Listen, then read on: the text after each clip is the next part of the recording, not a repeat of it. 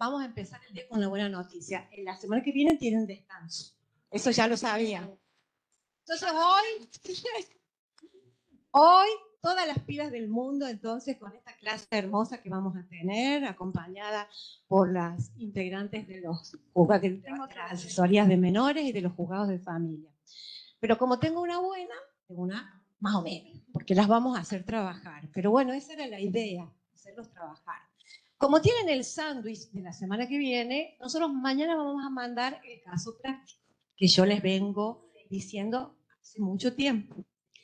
Eh, Mañana, como va a ser en un formulario de Google, eh, se les va a dar una fecha límite y esa fecha límite, si se sobrepasa, el formulario no, les, no se los va a recibir. Así que ustedes tienen que cumplir con eso. La fecha límite va a ser hasta el día viernes 13, o sea que tienen un montón de tiempo, tienen toda la semana que viene, al mediodía, es decir, hasta las 12 del mediodía. Si ustedes lo presentan a las 12 y 1, el sistema no se los va a admitir. Así que eso es importante que lo tengan en cuenta y para aquellos que hoy están ausentes y que sean compañeros de ustedes, por favor transmitan esto. De todas maneras, cuando nosotros este, se remita el, formulario, se les va a informar la fecha límite y la hora, ¿cierto, Walter? Sí, pero... Claro, si usted Exactamente, pero es importante que tengan en cuenta este límite. Bueno, si no tienen ninguna otra pregunta, vamos a dar comienzo, las presento. Hoy nos acompañan la doctora Sandra López Gardel, que es asesora de menores número 3, la abogada Patricia Gasparotto, que también es integrante de la asesoría de menores número 3, la abogada reciente, Diana eh, Elizabeth Moreno, que participa. Este, que es integrante del juzgado de familia número uno, y Candela, que está a punto, a, a pocas materias, integrante del juzgado de familia número 3. Bueno, espero que tengamos una excelente clase, pero más que todo que ustedes sean muy participantes y las, las, interroguen porque ellas saben un montón y bueno, en la medida que ustedes hagan preguntas va a ser mucho más fructífero.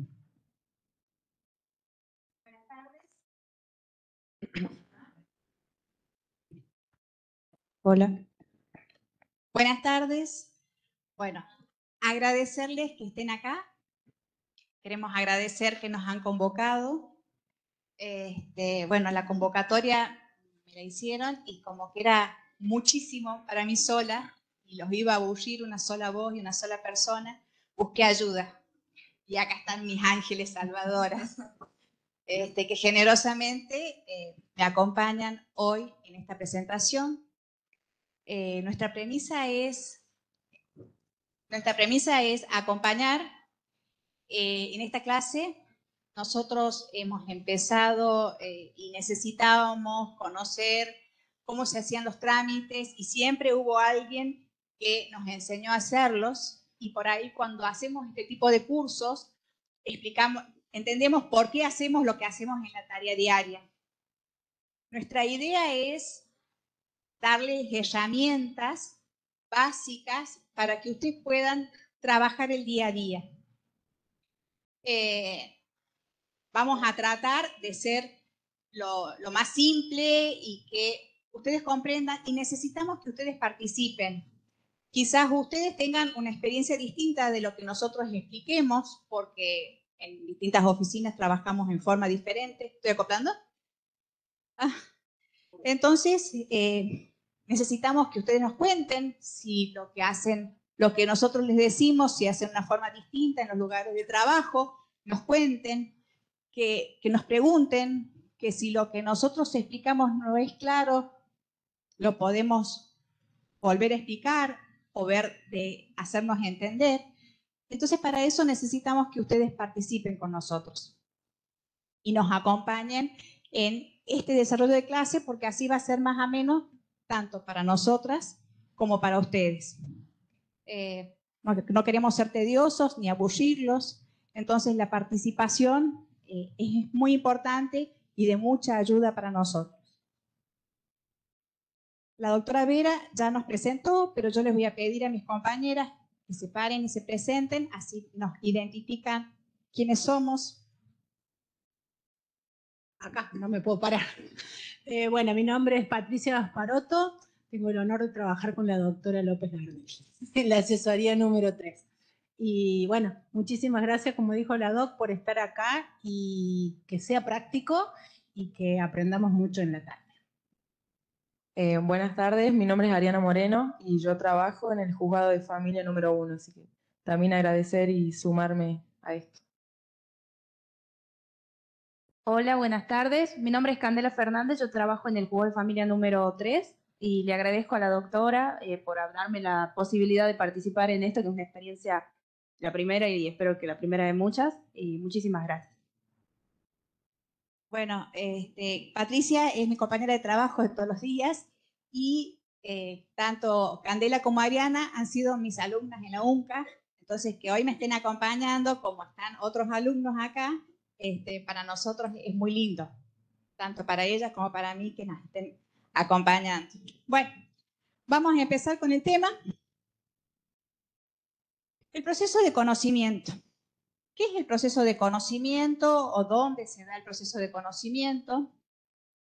El proceso de conocimiento es el que se da lugar cuando dos partes, una actor y la otra demandado, acuden al órgano jurisdiccional, al juez, para pedir que resuelva cosas que en forma particular no la pueden resolver.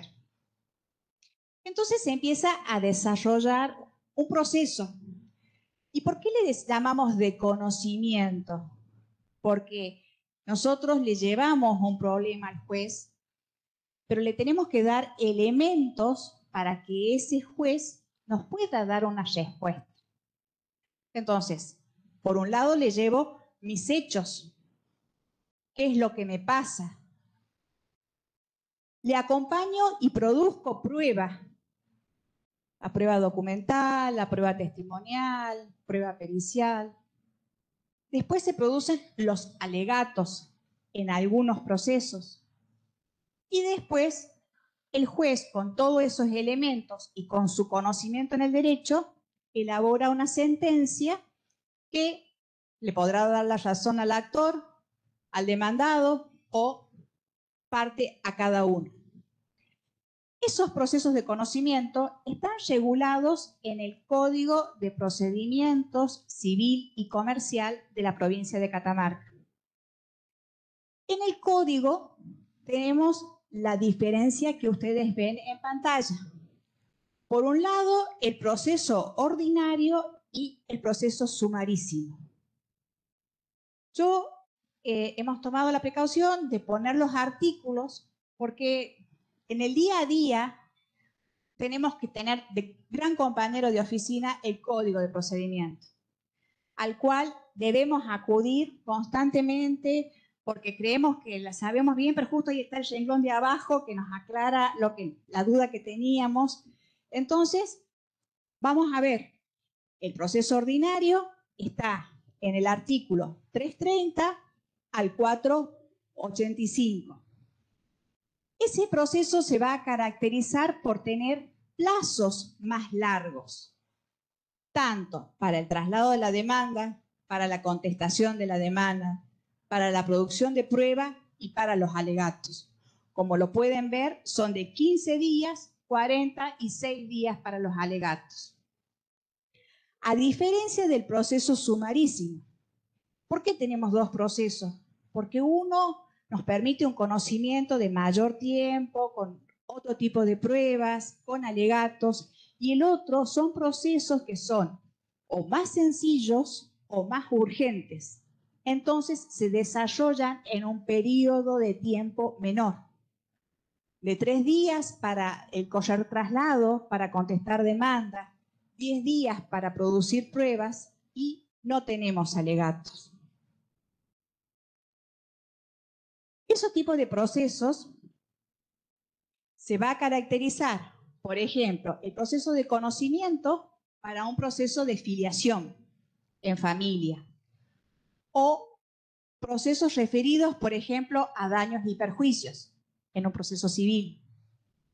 Mientras que el sumarísimo se caracteriza, por ejemplo, alimentos en familia. Son procesos más rápidos, urgentes, entonces se van a producir en un menor tiempo. ¿Hasta acá se comprende? ¿Alguna pregunta? ¿Participar? ¿Dudas?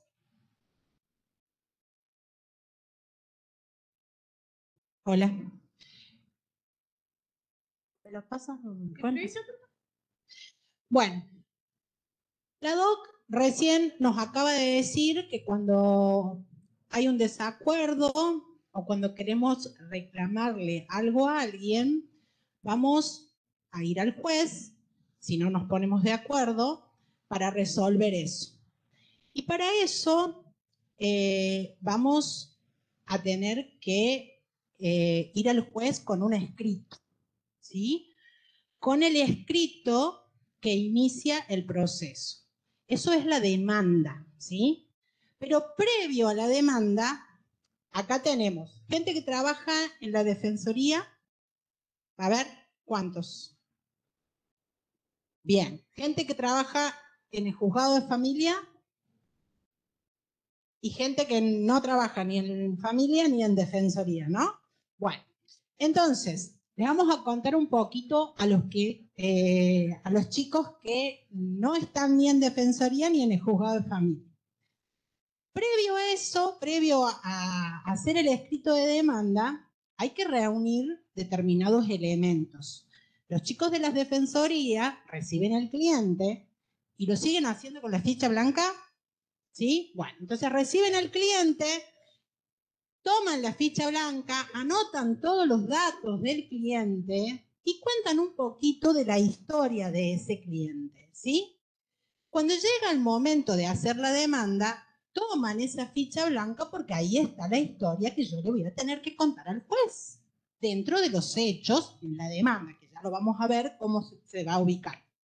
Entonces, más allá de todo lo que me cuente el cliente, por ahí yo lo hacía cuando estaba en la Defensoría, no sé si lo, si lo hacen, aparte de la ficha blanca que van datos, hacen como un borrador, porque yo tengo que tener una historia cronológica para contarle al juez, ¿sí? Con eso voy a armar la demanda. ¿Cómo vamos a armar la demanda para que después esta demanda entre al laboratorio de familia? ¿Sí?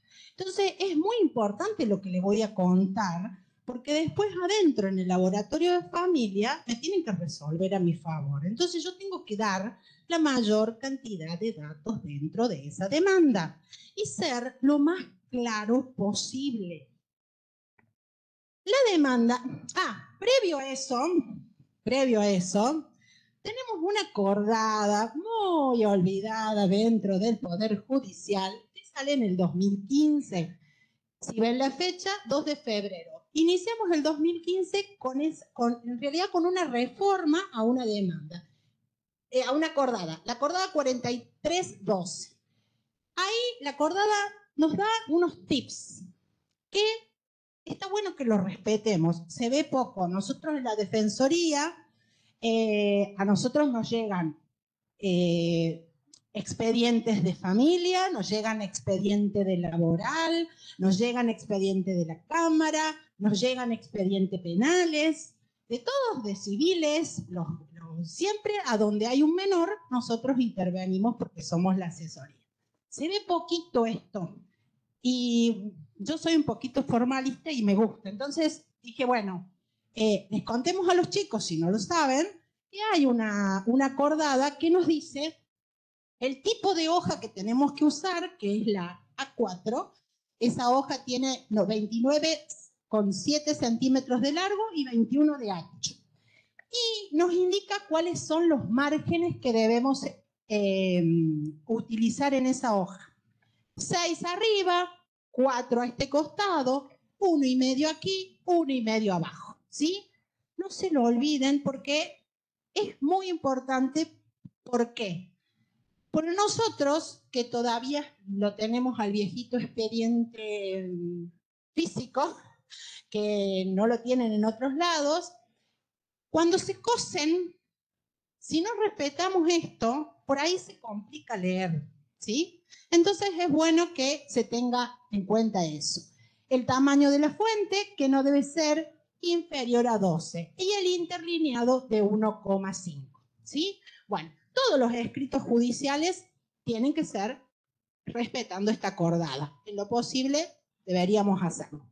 Bueno, quedamos en la demanda y dijimos, esta demanda por la cual yo le voy a decir al juez, en esto me baso para venir a solicitarle a usted que resuelva esta situación, debe tener algunos componentes que eh, están contemplados en el Código de Procedimiento Civil y Comercial de la provincia. Y como dijo la DOC, empiezan en el artículo 330. Si vamos al artículo 330, tanto para los que hacen la demanda como para los que están adentro, siempre con el código en la mano. El primero de los datos que necesitamos son el nombre, apellido y domicilio del actor. El nombre, apellido y domicilio del actor que va a ir acompañado del nombre del abogado.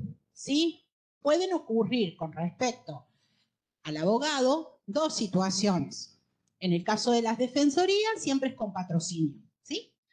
Y en el caso de los abogados particulares puede ser que sea con patrocinio letrado, lo cual significa que siempre tiene que venir la firma del abogado con la parte. Básicamente eso. ¿sí?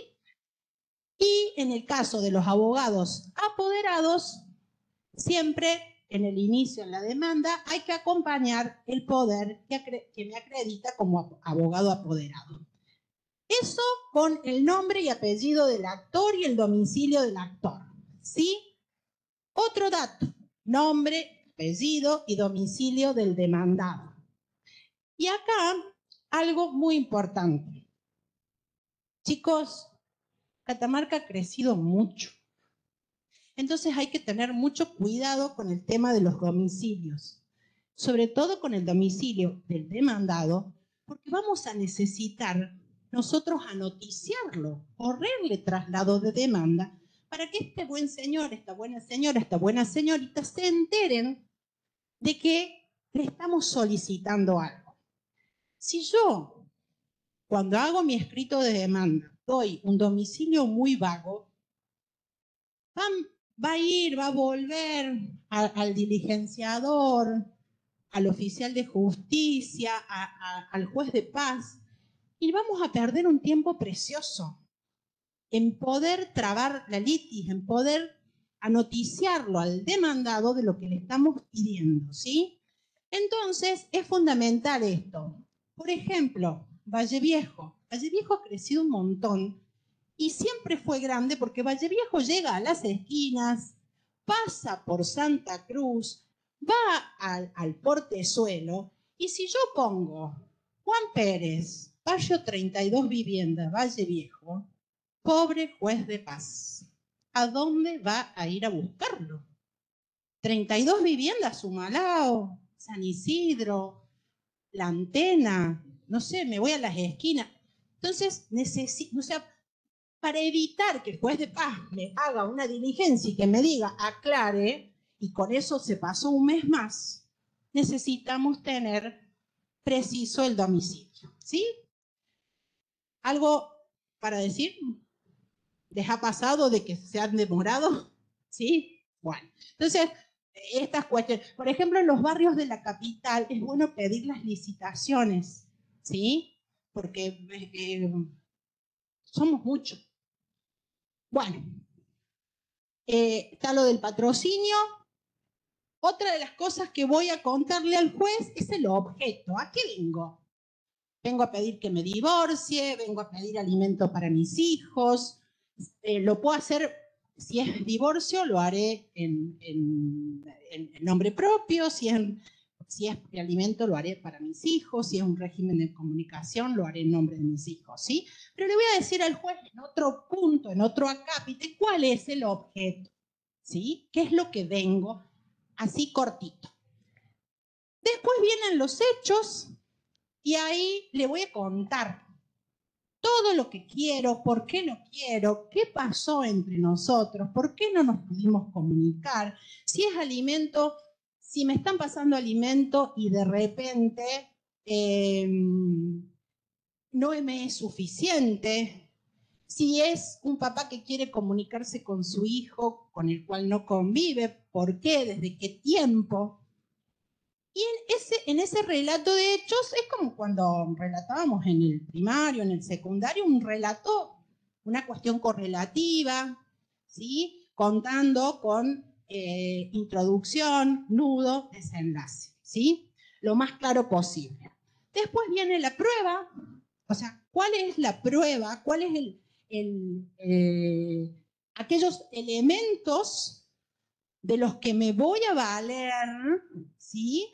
Es una actividad procesal que realizan las partes y es el elemento del cual me voy a valer para decirle al juez, esto es lo que yo digo y por esto lo digo, ¿sí? Después tenemos el derecho, que en esto hay una cuestión particular, hay un principio, el Jura Nulli COVID, eh, eh, Yura, que eh, este es el principio que el juez sabe el derecho. Si de repente no tengo exactitud en el derecho que pongo en la demanda, en realidad no importaría demasiado porque el juez se va a encargar de enderezar la demanda, ¿sí?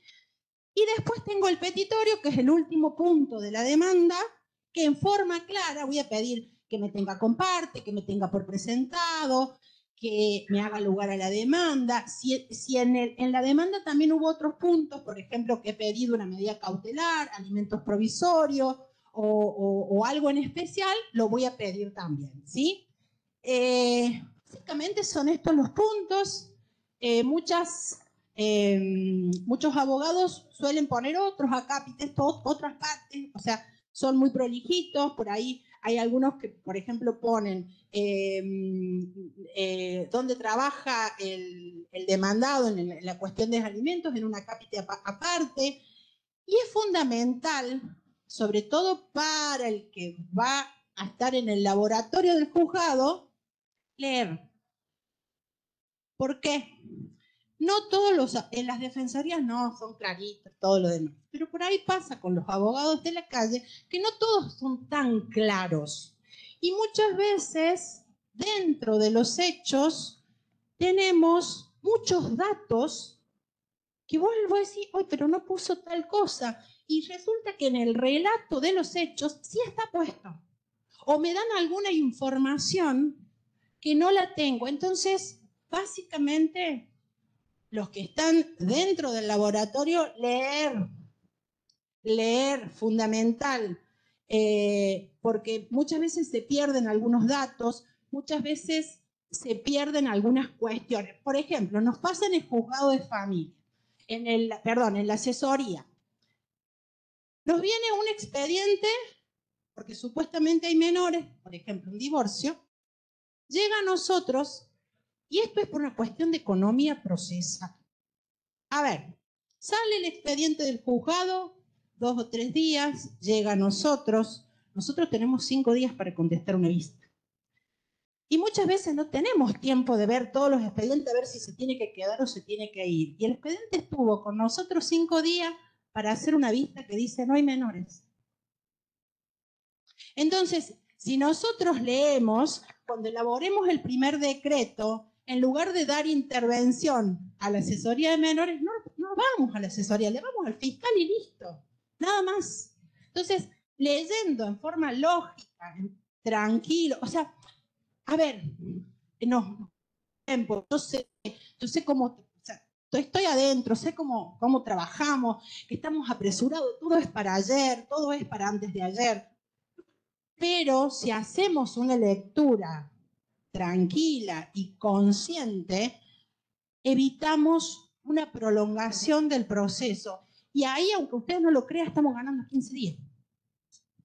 Ustedes cuenten 15 días de calendario, ¿no? O sea, no ni hábiles ni no hábiles, sino, bueno. Eh, entonces, esa lectura tiene que ser lo más concisa posible. Eh, también dentro de esta demanda muchas veces nos piden alimentos provisorios como una cautelar, ¿sí? Con, eh, esa cautelar, básicamente, por ejemplo, en familia, si bien eh, tiene que darse someramente una verosimilitud del derecho, un peligro en la demora y todo lo demás, son bastante más flexibles, ¿sí? Entonces, eh, si existe ese pedido de una medida cautelar, también en el, petitorio se suele la medida cautelar. esas cuestiones, ¿sí? Sigo yo con el ofrecimiento de prueba.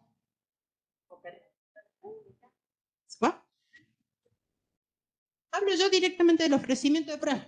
Bueno, como dijimos, uno de los puntos de la demanda es el ofrecimiento de prueba. ¿Cuándo vamos a ofrecer prueba?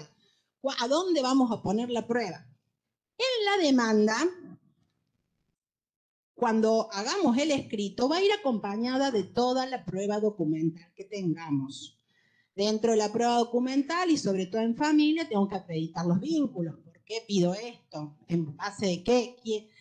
Eh, si son mis hijos, si estamos casados, si en el divorcio, el acta de matrimonio, o sea, tengo que hacer la acreditación de los vínculos y vendrán todas las actas.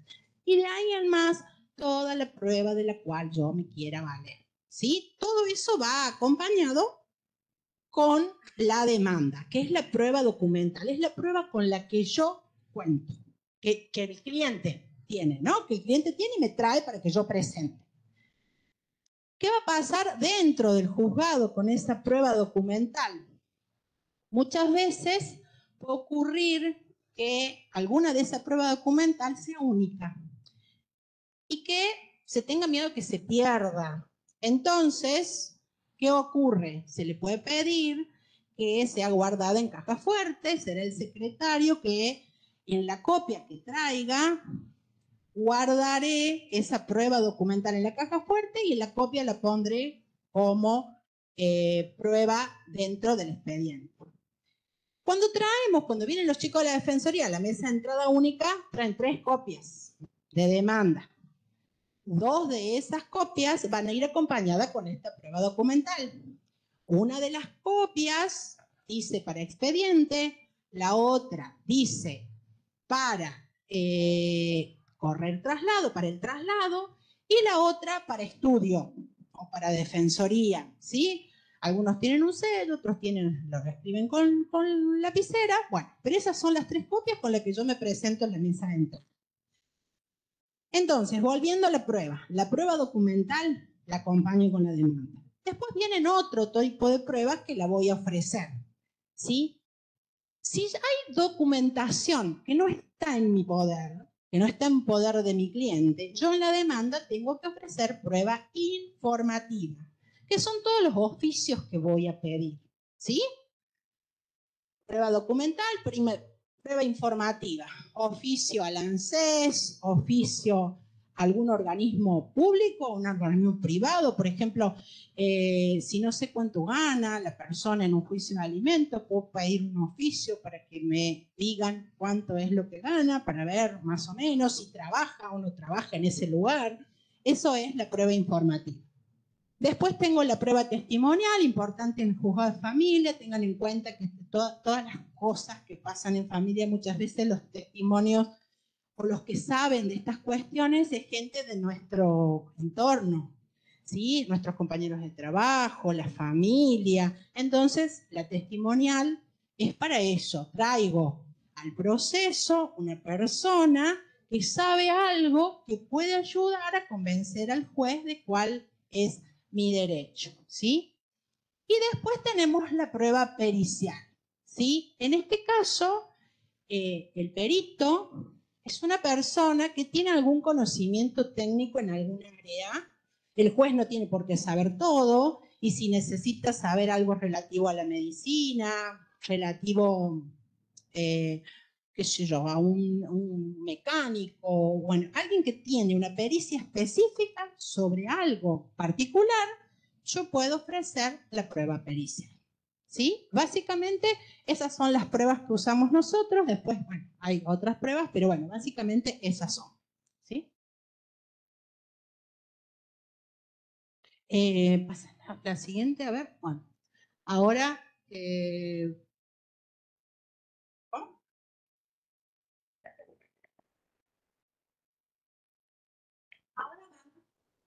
No sé si les quedó alguna duda. No sé si les quedó alguna duda, algo para contar, algo que diferente que les haya pasado. ¿Todo bien? ¿Han tenido problema con los domicilios? Es muy común. Bueno, ahora vamos a hablar de figuras procesales que pueden ser utilizadas en la presentación de la demanda o en la contestación de la demanda.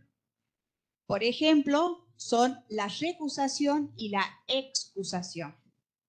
La excusación es una presentación que hace el juez, mientras que la recusación lo realizan las partes, recordando actor y demandado. Ambas figuras garantizan la imparcialidad del juez al momento de decidir. Es una forma de garantizar un proceso imparcial, independiente. Entonces, es importante tenerlas en cuenta. Como recusación tenemos recusación sin causa y recusación con causa. Recusación sin causa, no la pasa todavía. La recusación sin causa va a ser utilizada en los procesos, pero hay procesos en los cuales no se puede utilizar. Específicamente en el proceso de familia, conforme la ley 5082, está establecido que no puede haber recusación sin causa. Está establecido en el artículo 14, o sea, vamos siempre siguiendo a dónde está en el código. Está establecido en la primera parte, para que nosotros lo tengamos en cuenta. Los jueces de primera instancia podrán ser recusados sin expresión de causa. El actor puede ejercer esa facultad al momento de presentar la demanda. Y el demandado podrá utilizarla en la presentación de contestación de demanda o en su primera presentación en el proceso. No procede la recusación sin expresión de causa en los procesos de familia, en los procesos sumarísimos, en tercerías, en juicio por desalojo y en los procesos de ejecución. Cuando nosotros hablamos de recusación sin causa, directamente establecemos recuso al juez fulano de tal, de primera instancia, de primera nominación y nada más. No se explica motivos, no necesitamos motivos. Simplemente hacemos esa referencia. El proceso es que el, juez va a llevar el expediente al juzgado que lo subyoga de segunda, de segunda, sería de segunda nominación en este caso, y que se hace lugar a la recusación. Distinto es la recusación con causa, que está establecida en el artículo 17. Como pueden leer, tiene 10 incisos de causales. Familiar, amigo, acreedor, deudor, enemigo. O sea, tenemos que ver si es que estamos en alguno de los presupuestos del artículo 17 y podremos recusar al juez con causa. Acá necesitamos un motivo. En el juzgado de familia, para recusar a un juez, necesitamos estar en alguno de estos incisos, comprendido con alguno de estos incisos, para poder presentar una recusación con causa. Distinta es la excusación, que es cuando está establecido en el artículo 30 del Código de Procedimientos Civiles y Comerciales, y las causales serán las que están establecidas en los 10 incisos que vimos en el artículo 17. Amigo, familiar, acreedor, deudor, enemigo. Y es cuando el juez ve comprometida su imparcialidad en el proceso y se excusa de entender en esa causa. es otra la situación. La recusación la establecen, la presentan las partes. La excusación es el juez que considera que por determinadas situaciones no va a ser imparcial al momento de resolver en ese proceso. Entonces, hace la presentación de excusación en la causa. ¿Alguna duda? Por ahí se cuesta comprender porque la recusación es como que eh, lo mezclamos con la excusación y no sabemos quién presenta qué. Recusación, las partes. Excusación, el juez. También pueden ser recusados los peritos. En algunos casos que tenemos peritos, pueden ser recusados por las mismas causales del artículo 17. Siempre ir a los artículos del Código de Procedimiento.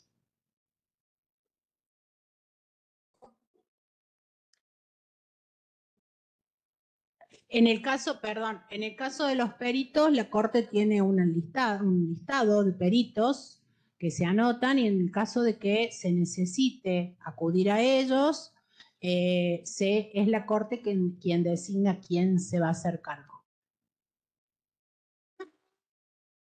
Bien, buenas tardes. ¿Puedo hacer una pregunta? Yo, yo porque yo si no, no hago yo las preguntas, ellos después sí creen, tienen también esta duda. ¿Qué pasa cuando hay una recusación o una excusación en el trámite del expediente? La recusación sin causa, como dijimos, va a ser tramitado el expediente por el juez que subroga al juez que ha sido recusado sin causa. Cuando hay una recusación con causa, el juez puede aceptar la recusación y remitir al juez que lo subroga, que continúa en la nominación. Ese juez que recibe el expediente puede aceptar o no esa recusación. Y toma intervención la Cámara y resuelve, es quien en definitiva va a resolver qué juez va a intervenir en esa causa. Y un trámite similar lo tiene la excusación. Si el juez que recibe la causa acepta la excusación que presenta su colega del otro juzgado, recibe la causa y continúa el trámite. En caso de oponerse a esa excusación, interviene la Cámara y resuelve ese trámite. Y lo que resuelve la Cámara es lo que el juez que va a intervenir en esa causa. En las causas de violencia se veía mucho, Fernando, ¿no? El tema de, eh, hubo tiempo atrás algunos casos de recusación y eh, fueron resueltos por la Cámara y se ponen, generalmente cuando se manda el expediente, se, citan esos, e, esos expedientes, ¿no? esas sentencias. Bien, eh, en esta parte, siguiendo con, el orden de ideas de lo que vienen exponiendo mis compañeras, llegamos al primer decreto. ¿Qué es este primer decreto tan relevante e importante? Porque acá ya nos encontramos para el lado de nosotros, en lo que trabajamos, en la parte judicial. Es cuando le llega a nosotros como decretantes, bueno, el juez, en realidad, es, eh, va a ver si el escrito que llega a nuestras manos cumple con los requisitos sustanciales y formales y de este modo admitir la demanda. Bien, eh, siguiendo este orden de ideas, ¿qué es lo primero que debo tener en cuenta? Lo más importante, que ya lo viene hablando eh, mis compañeros, es la competencia, que ya también se ha tocado en clases pasadas y para no hablar en temas de que, ya hablaron, eh, hay distintas también parámetros en el proceso de familia, como son el centro de vida, como son determinadas situaciones que van a marcar la competencia y que el juez, en su caso, puede inhibirse, como, dice, como nos decía la doctora, que es excusarse, o como marca la ley 5082 en su artículo 10, no procede la recusación sin expresión de causa. Vamos a encontrar eh, particularmente en este proceso, el proceso de familia, que es un proceso muy flexible.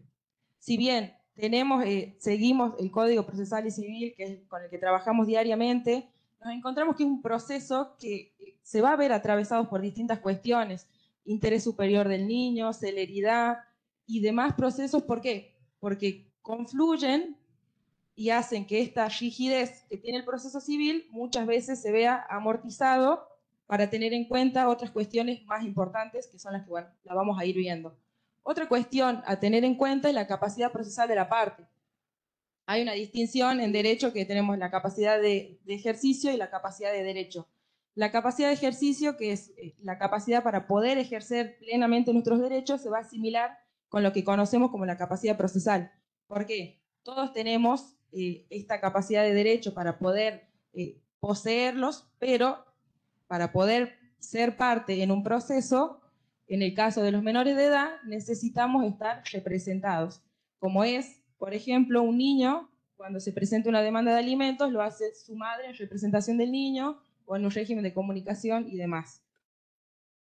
Bueno, acá eh, lo primero, ¿no? Se lo tiene por presentado. Acá puse un, fragmento, eh, téngase la señora tanto, tanto, por presentados por parte, por derecho propio, y acá es lo primero a lo que también tenemos que prestar mucha atención, porque puede ser por derecho propio, por apoderado, que algo ya la doctora Patricia comentó, que en el caso, acá voy a seguir, eh, cuando es por derecho propio, la parte actúa por sí misma, en este caso, es ella quien inicia la demanda y firma el escrito. Y esto va a tener una gran relevancia. ¿Por qué? Porque al final de la demanda o en cada escrito que se vaya presentando a lo largo del proceso, tiene que tener tanto la firma como del patrocinado y la firma del abogado, que es muy importante. Y también ha pasado, tiene que estar en el, en el escrito de traslado. Cuando se corre eventualmente el traslado de la demanda, tiene que firmar, en el caso de ser por derecho propio, el apoderado junto con su, con su patrocinante letrado. De igual manera, necesita el asesoramiento de un letrado patrocinante. Y por apoderado, quiere decir que la parte no va a actuar por sí misma, sino por medio de alguien que la representa, en este caso el apoderado, a través de un poder. ¿Qué es un poder? Se trata de un documento otorgado a través de escritura pública en donde se otorga a otra persona la facultad de actuar en nombre y representación. Y acá el artículo 47 eh, del CPCC específicamente nos hablas cuáles son los requisitos de presentar este poder, ¿no? Porque esto también va a tener relevancia a la hora de que los próximos escritos y la misma demanda ya no va a hacer falta que tenga eh, la firma del el patrocinado, sino simplemente del abogado. Volviendo acá, eh, téngase los ocurrentes en el carácter invocado y por denunciado el domicilio real y constituido el procesal.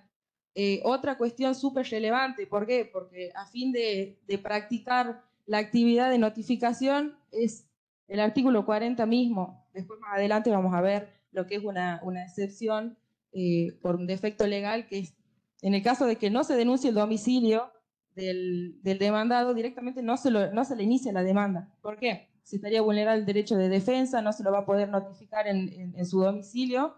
Entonces, en este caso, no se lo podría iniciar.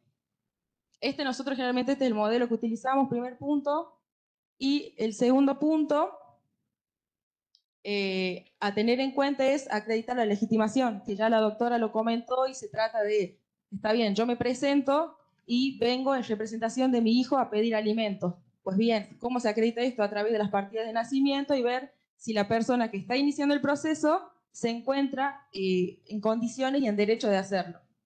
El paso número tres, observar la documental presentada, también es muy importante. Eh, observar si hay eh, documentación original, en este caso, como dijo, se coteja por secretaría, generalmente se presenta la, documental original, la copia de esa documental para que vaya en el expediente y lo demás se reserva en caja fuerte. Bien, el, el, siguiente paso, que es muy importante, es el inicio del proceso y según el trámite. Que esto, bueno, acá yo adjunté en dos procesos distintos, en una demanda de alimento y una demanda de divorcio. ¿Por qué es importante el trámite que se le da? Que esto va a estar relacionado también con un principio muy importante que eh, la doctora también lo, mencionó, y es el iura novit curia. ¿Qué quiere decir? Que el juez conoce el derecho. Y además está decir que en el caso de que advierta que hay algún error u omisión o nosotros mismos nos damos cuenta que se está planteando mal una acción, tiene la facultad para poder darle el trámite que realmente es para poder encauzar el proceso.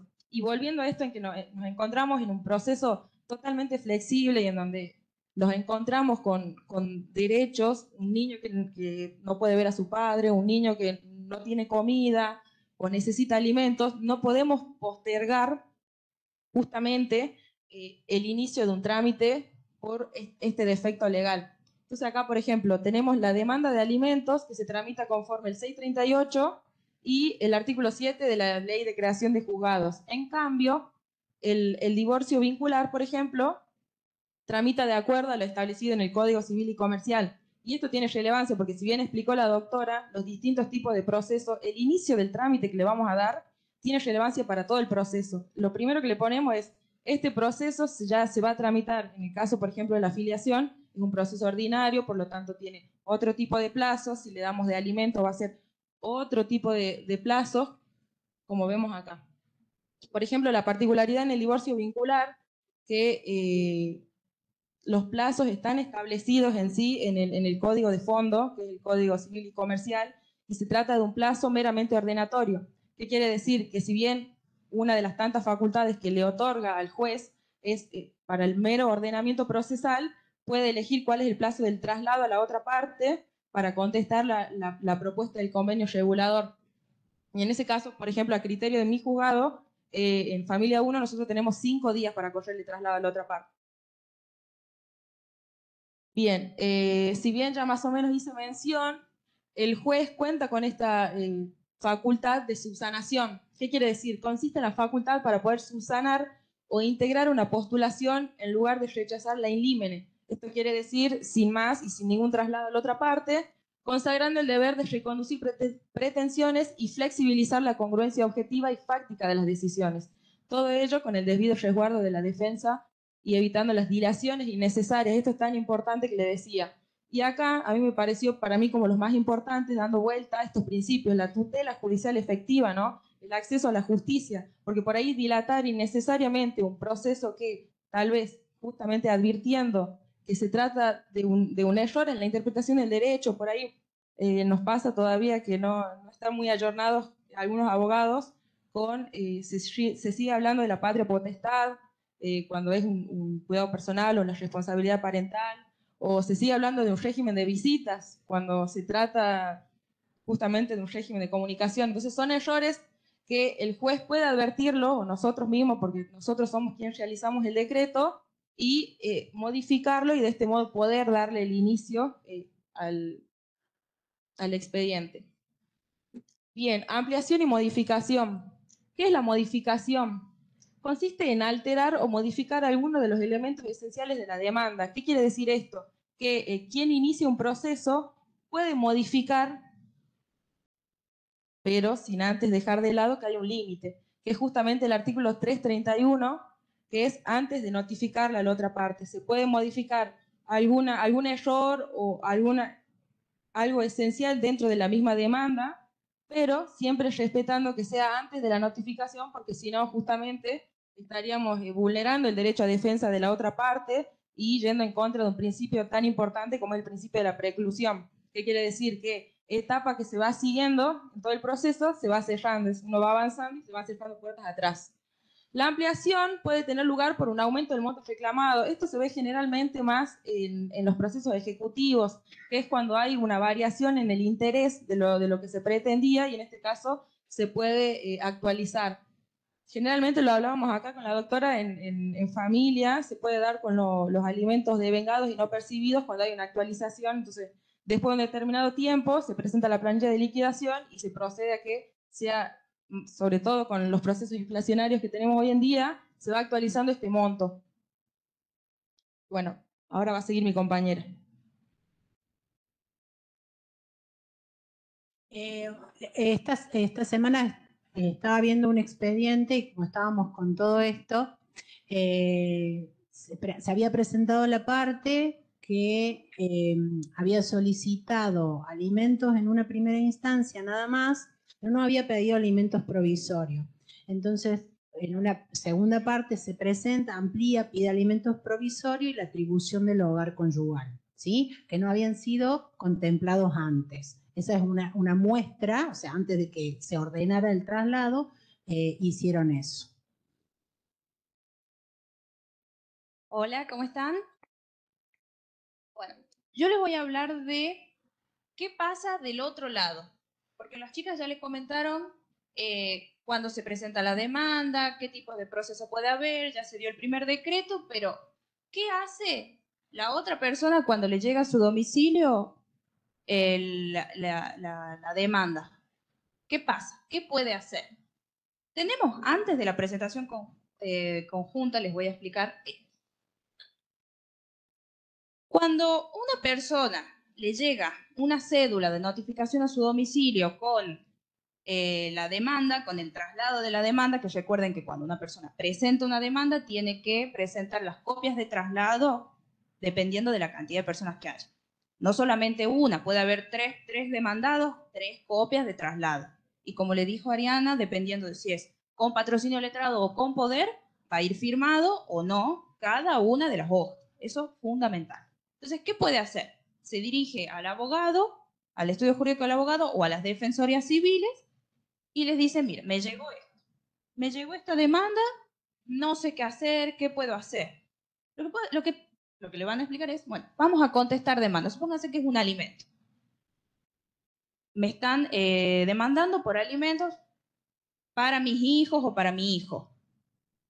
¿Qué hace la otra parte? El demandado o demandada contesta la demanda. ¿sí? En la demanda tiene que tener todo lo mismo que les explicó Patricia. Todo esto tiene que tenerlo exactamente igual en el escrito, respetando la acordada, siempre.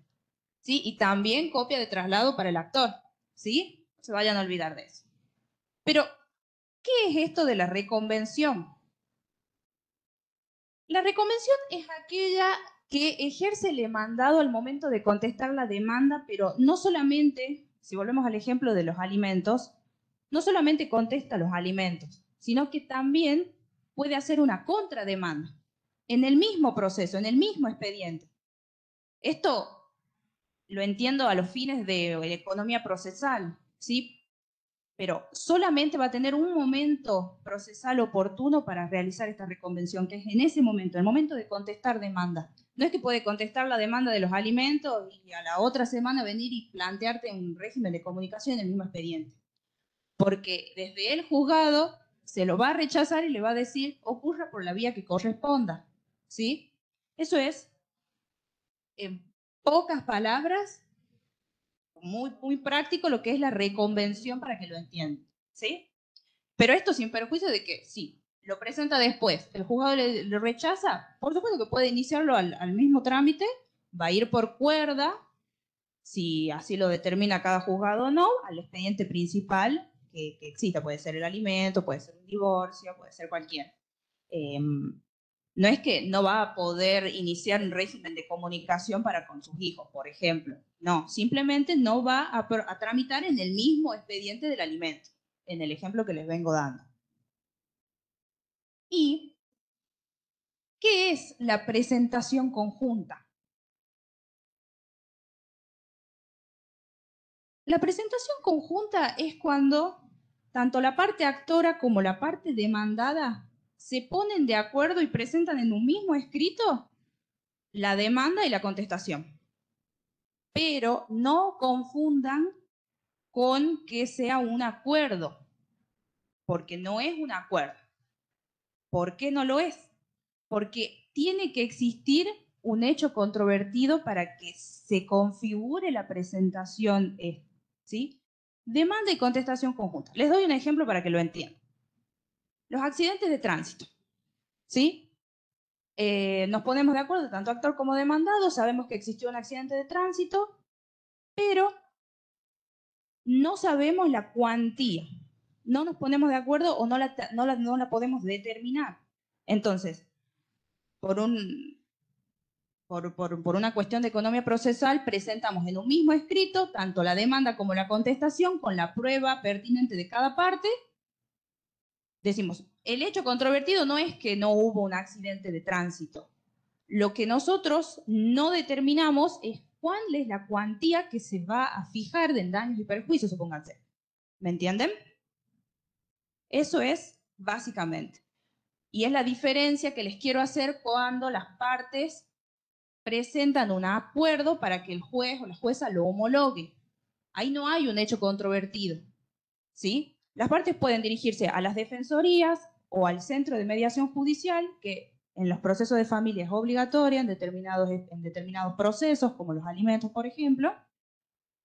Llegan a un acuerdo y lo presentan en los juzgados de familia para que la jueza lo homologue. No es lo mismo que la demanda y la contestación conjunta, porque eh, cuando las partes presentan un acuerdo para que se homologue no hay ningún hecho controvertido. Bien. Bueno, ahora vamos a pasar al break para descansar y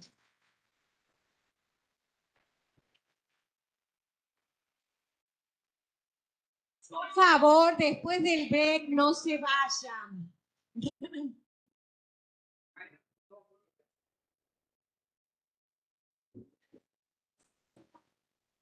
Queremos saludar a la gente del interior que acompaña este curso desde las distintas circunscripciones del interior. Vemos la participación, la gente que se ha integrado a distancia en este curso, así que bueno, les damos la bienvenida un poco tarde, pero bueno, no lo queríamos dejar pasar. Hemos hablado de la demanda y empezamos a hablar de la contestación de la demanda. Pero antes de la contestación de demanda está la citación de la parte demandada. La citación de la parte demandada es un acto formal y es necesario un paso esencial y la fundamentación es una garantía procesal porque se garantiza el derecho de defensa de la otra parte. En el break, su compañera se acercó y amablemente me pidió que pudiéramos pusiéramos mucho énfasis con el tema del domicilio, porque ella dice, ponen el domicilio determinado, barrio 100 viviendas sur, y eh, las, en, el, en el sur varían los colores de techo, valían, son 100 viviendas, pero se entregaron 50, después las 30. Entonces ella dice, tomarse todo el trabajo necesario para que nos den los datos para que el oficial notificador, cuando deje la notificación, sea efectiva. Porque también es una forma de que el notificador va a la casa 32 y en la primera casa 32 deja la notificación y el demandado jamás se entera. Eh, en algunos casos es una forma de evitar la participación del demandado por parte de la actora. Nos da muchos datos, mucha información para evitar que el demandado se presente en el proceso y pueda hacer las presentaciones, ofrecer prueba u oponerse a la demanda. Este acto que es formal se va a realizar, puede ser por cédula, por oficio, por exhorto o por edicto. La cédula conocemos cuáles son las características de la cédula, cuáles son los requisitos mínimos, cuál es el contenido, pero lo fundamental en este caso en la cédula es que debe acompañar la copia para traslado de la demanda, que se presentó en un primer momento, cuando se presentó la demanda y como explicaban las chicas, teníamos una copia para expediente y la copia para traslado. Esa copia va a ir acompañando, ya sea a la cédula o al oficio o al exhorto para que se notifique el demandado. Es decir, el demandado va a recibir una cédula en la que está copiado el primer decreto y dice, se acompaña copia para traslado de demanda. Y ahí se interioriza de qué es lo que el hecho controvertido que está presentando el actor. ¿Por qué tenemos la posibilidad de que sea por cédula, por oficio o por exhorto? Depende a dónde vamos a notificar. Si vamos a notificar acá en la parte de la capital, podemos notificar a través de cédula. Por ejemplo, si notificamos en Mamerto, Valle Viejo, será por oficio al juez de paz. Si el demandado está en otra circunscripción, se mandará exhorto. Ahora, para el caso que no desconozcamos domicilio o desconozcamos el nombre del demandado, que en general eso no se da en los casos de familia, deberemos hacer una publicación de edictos. Está establecido en el código cómo se deben publicar los edictos. Tiene un contenido del primer decreto, no vamos a acompañar copia porque los edictos se publican en el boletín oficial y se publican en el diario de mayor eh, circulación en el lugar. Y después se acredita esas publicaciones acercando copias y la factura del boletín oficial y del diario para acreditar que fue notificado a través de dicto. Es así que, en principio, el demandado toma conocimiento de que hay alguien que está pidiendo algo. Toma conocimiento. Ahora, el demandado, yo tenía una profesora que decía, cuando le llegue algo de la justicia, lo último que van a hacer es guardarla en un cajón. Entonces, bueno, el demandado tendrá diferentes posibilidades. Puede presentarse, puede no presentarse, tomar conocimiento, asesorarse en la defensoría, asesorarse en un abogado particular y no presentarse. Conocemos muchos casos que no se presentan en el proceso judicial. Y en los casos de que no se presente, a la parte actora tiene la posibilidad de solicitar se lo declare en rebeldía, que es una presentación por parte de la actora que le hará lugar la señora juez, el señor juez, y continúa el proceso ya con la participación del actor nada más. Ahora bien, ¿el demandado puede presentarse habiendo sido declarado rebelde? Sí puede presentarse. Se llama purgar la rebeldía. Se presenta el proceso. Ahora bien, una vez que se presenta, no se retrotrae el proceso. Las etapas que han atravesado el proceso como decía mi colega, ya son puertas cerradas que no se pueden volver a abrir. O sea, tuvo su tiempo para contestar demanda, su, su tiempo para ofrecer la prueba, para producir la prueba. Se presenta, por ejemplo, en el momento de los alegatos. Ya no puede contestar demanda, no puede ofrecer prueba, sino directamente podrá, si es que el proceso lo permite, alegar. Pero bueno, son posibilidades que tiene el demandado y que se, son estrategias a veces del abogado o a veces del demandado. Dice, bueno, yo no voy a ir, que resuelvan y me adhiero. Que se considera en algunos casos en los de alimentos una forma más de violencia, digamos, la violencia económica en los alimentos para los hijos. Y esto de cuando hablamos de expedientes con causas con personas menores de edad. Eh, son expedientes en los cuales se consideran, como dijo mis compañeras, el interés superior del niño, que es la máxima satisfacción de los derechos y las garantías de esas personas. Entonces, en esos casos hay un especial tratamiento para satisfacer esas necesidades. Entonces, en general, en esos expedientes, las medidas cautelares son resueltas dentro del primer decreto, como para satisfacer las necesidades y los derechos de esas personas menores de edad que están en el proceso, representadas tanto por el progenitor y en forma conjunta y complementaria por el asesor de menores. ¿Alguna duda? Sí, perfecto.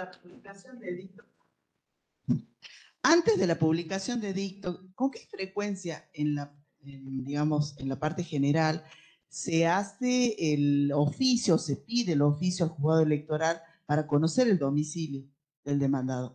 Eh, porque he visto que me parece que por el tema de la rapidez no es muy utilizado. O, Sí, o lo están haciendo. depende del tipo de proceso.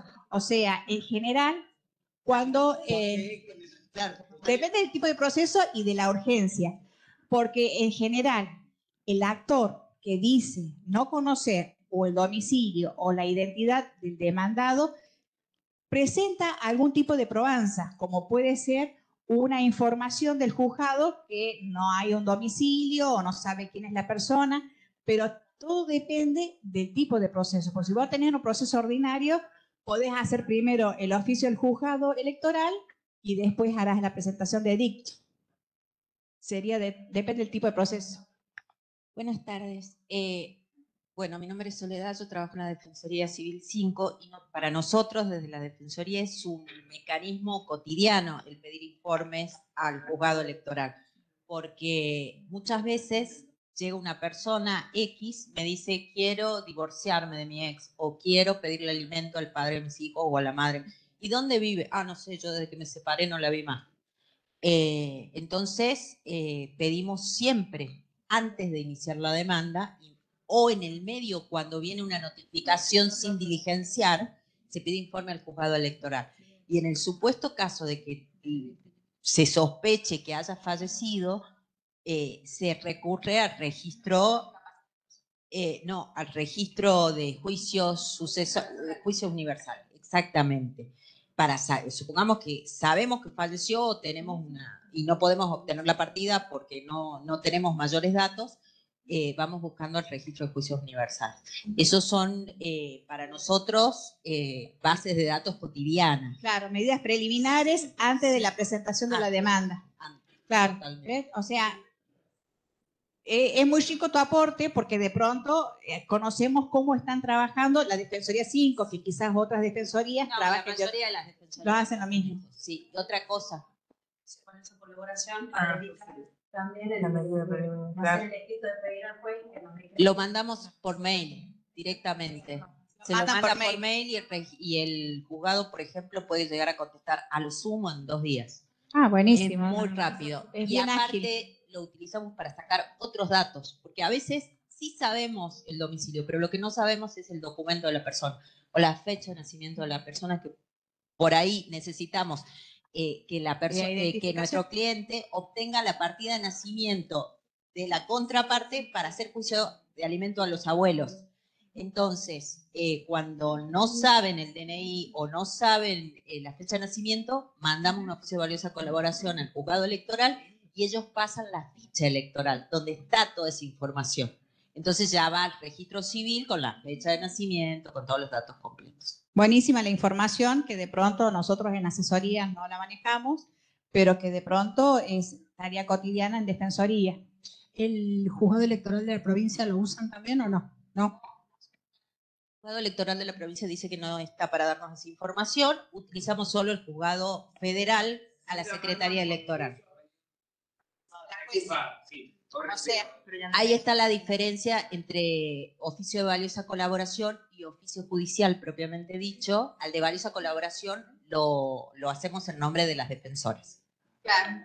En cambio, los otros oficios los hacen eh, por orden de juez en cumplimiento de una orden jurisdiccional y ahí sí eh, obtienen respuesta. Gracias, Sole. Por eso, pero es mucho más lerdo eso, porque dos días me parece un plazo excelente. Y para un juzgado federal, Claro. para un juzgado federal. O sea que es muy recomendable para, no solo para las defensorías, sino para sugerirle a los, a los colegas que presentan demandas. O sea, Sole me ha dado más trabajo, porque ahora la doctora López Gardel me va a mandar a hacer los oficios juzgado federal. Básico. como archivo adjunto, eh, eh, esa firma, o sea, con firma digital no, Con un mail directamente redactado, Seguimos con el trabajo. pero no, no dan tantas vueltas. Lo que quiere decir es que se puede hacer. Si lo hacen ellos, cualquiera puede hacer. Muchísimas gracias y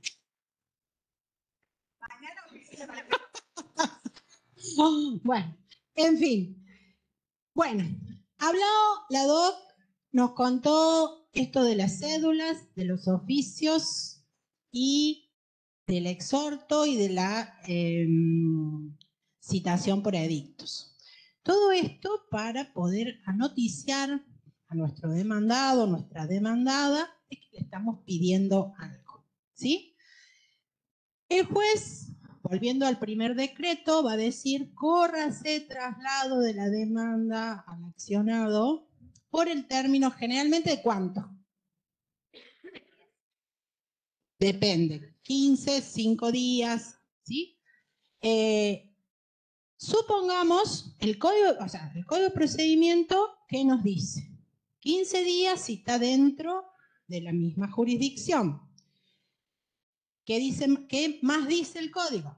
Que si vamos a demandar a la municipalidad o va a ser una provincia, esos 30 días ya no son 30, se transforman en... Eh, no los 15 días no son 15, se transforman en 30. ¿Sí? Y a su vez, nos dice el código que si está fuera de la provincia, en otra provincia, cada 200 kilómetros le vamos a agregar un día, ¿sí? Entonces, si se domicilia 300 kilómetros y, fracción menor a 100, entonces vamos a tener ahí 17 días y así contando de acuerdo al domicilio. Eso para tenerlo en cuenta. A ver, para el caso de las defensorías, y por una cuestión de economía procesal, y yo jodo mucho con este tema y, vamos rápido, y lo hacemos lo más rápido que podemos, pero bueno, tengan en cuenta que una vez que han recibido, o sea, a ver, si va la cédula, está dentro de la jurisdicción, dentro de, la primera circunscripción acá, va por cédula de la ciudad, eh, la vamos a llevar a los oficiales diligenciadores, a la oficina de notificaciones. Si vamos con oficio, nos vamos a ir a un juez de paz. Una vez que ya tenemos la contestación de eso, lo más rápido que podamos, lo tenemos que incorporar al expediente. ¿Por qué lo vamos a incorporar lo más rápido que podamos? Porque cuando se presente el demandado o demandada al expediente, el juez primero se va a fijar cuándo se ordenó, cuándo se corrió traslado, cuándo se notificó para decirle que se ha notificado en tiempo y forma, que ha contestado en tiempo y forma. Entonces es fundamental eso, porque si bien el demandado contesta y la cédula o el oficio no está agregado, ¿qué nos va a decir? Resérvese hasta tanto se agregue la cédula. ¿sí? Entonces, para ganar tiempo, le agreguemos la gente de la defensoría. Así trabajan más los de la... Más rápido. A ver, otra cosa fundamental y vuelvo a decir. Yo voy a decir algo. En la eh, ¿Qué veo yo? Y disculpen los que trabajan en los juzgados. Hay muchas cuestiones que simplemente es falta de lectura. Y si leemos, ahorramos tiempo. A ver, yo sé que por ahí uno dice, rápido, a ver qué le pongo, rápido, el primer decreto, el segundo. E, es así, pero si leemos, acortamos tiempos, economía procesal, ¿sí? Es un poquito más lerdo leer, sí, pero cometemos menos errores. Y lo hagamos con los cinco sentidos. leamos y pensemos, es lógica, hay que pensar con lógica. ¿sí? Entonces, nos, vamos a equivocar menos. Eh, el otro día hablaba con alumnos que estaban por rendir la materia que doy en la facultad y entonces les explicaba esto de leer y lamentablemente nos pasa a todos. O sea, a través de las redes vemos, hubo un accidente Capayán, punto. Ni entramos a ver la noticia. Y comentamos, comentamos en nuestro círculo con nuestros amigos y todo demás, hubo un accidente en ¿Y qué pasó? No, no sé. Seguí con, lo que, con la otra información. O sea, lamentablemente estamos en ese nivel. Entonces, cuando vemos la demanda, la contestación de la demanda y todo demás, vemos, me presento, bueno, ya está, vamos al otro, me pasó tal cosa, bueno, sigamos al otro párrafo, jurisprudencia, sigamos para abajo. Y, y nos pasa eso, porque como que la ansiedad nos lleva y estamos perdiendo el hábito de una lectura crítica, porque la verdad que vemos los titulares y seguimos y seguimos, y así nos pasa cuando leemos los escritos muchas veces, porque a nosotros también nos pasa. Ella no, porque ella es muy delicada. Con los cinco textos. No, pero por ahí escucho. Acá no leyeron. Bueno, entonces, leemos, ¿sí? Otra cosa que hay que leer, de la notificación les quiero decir dos cosas. Otra cosa que hay que leer es qué nos dice la persona que diligenció esa cédula o ese oficio. Me ha pasado que venía para dictaminar para sentencia un expediente y resulta que no estaba trabada la litis porque el señor nunca se había notificado. Entonces, cuando venga la cédula, no es, téngase por notificado y constituido y no, no, leamos qué nos dice. Ahí es difícil las letras de lo que viene escrito, pero veamos si realmente lo encontraron. Otra cuestión con las cédulas y con el traslado de demanda. Doble notificación. No se hace. Doble notificación. ¿Qué significa? El juez de paz o el diligenciador va a ir a la casa donde le hemos indicado al domicilio que se le ha dicho en eh, la cédula o en el oficio, se va a presentar, va a golpear la puerta, va a tocar el timbre, lo que sea, no aparece nadie. ¿Sí? Va a dejar un aviso y va a decir, voy a volver en 24 horas. ¿Sí? Cuando en 24 horas vuelva al domicilio y vuelva a pasar que no lo atiende, ahí sí va a dejar la cédula, el oficio con la copia y lo que corresponde. ¿Sí? Si encuentra una persona que dice soy la madre, la abuela, la tía, no sé qué, se la puede dejar. Pero si no hay nadie, la doble notificación. El código lo dice, doble notificación de la demanda, no de las otras notificaciones, pero sí de la demanda. ¿Sí? Ya lo hemos notificado, lo hemos encontrado, nos hemos notificado, el señor se fue a la defensoría o se fue al abogado y se va a presentar a contestar demanda con su abogado, con su defensor. ¿Qué va a haber en la contestación de la demanda? Se va a presentar, va a denunciar su domicilio eh, real y su domicilio procesal. También se presentará con un abogado que lo patrocina o un apoderado, depende. Y lo primero que va a hacer como carga es negar. Niego esto, niego esto, niego, niego, niego, niego. No se lo ve. En la práctica, en familia, poco, no sé. ¿Ustedes lo ven? ¿Sí? ¿Mucho? Bueno, yo mucho no lo veo, pero digamos, una de las cuestiones es, va a negar, ¿sí? Todos los hechos. Va a dar su versión de los hechos también, va a nombrar el derecho y va también eh, acompañar en, con esa contestación la prueba documental con la que de la cual intenta valerse y va a ofrecer la prueba igual que el demandado. ¿sí? Pues se va a agregar eso al expediente. Vamos a ver qué es lo que dijo las cédulas, si está contestado en tiempo y forma, y va a venir, y me ayudan con el, el, ulti, el decreto, ¿sí? donde podemos decir que ha quedado trabada la litis porque todos están anoticiados. ¿Sí? Y más o menos el segundo decretito, expediente tanto, contra tanto, San Fernando del Valle, téngase a Mengano, a Juan Pablo, presentado por parte, por derecho propio, con patrocinio o apoderado, el nombre del abogado, el carácter invocado, por denunciado, por constituido, téngase por contestado en tiempo y forma el traslado y bueno, vendrán los puntos siguientes que será de acuerdo a lo que contesten y demás. ¿Sí? Bueno. ¿Quién sigue? ¿Alguna pregunta? ¿Algo de lo que dije le suena? ¿O alguna pregunta? Acá, los chicos que no están dentro de familia o algo. ¿Nada? Bueno. Bueno. Defensas procesales.